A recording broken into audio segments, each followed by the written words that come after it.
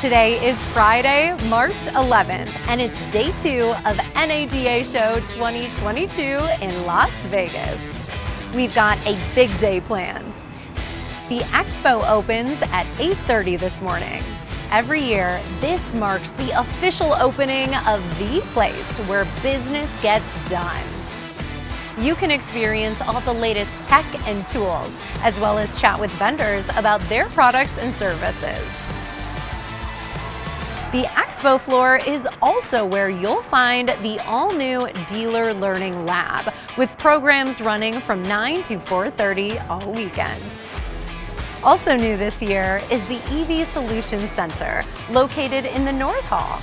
Here, subject matter experts will address issues one-on-one, -on -one, provide comprehensive solutions to successfully transition into the EV marketplace. Our educational sessions kick into high gear today. Workshops, exchange sessions, and the Distinguished Speakers Series all begin at 10.30 this morning. Dealer franchise meetings also start at 9 this morning.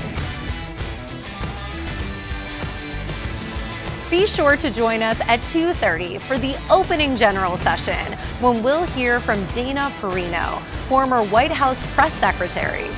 We'll also take a look at the state of the industry with 2021 NADA Chairman Paul Walser as he looks back on the past year.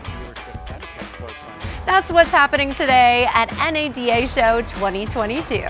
For details and times and topics, check the NADA Show app or consult the online schedule at nadashow.org.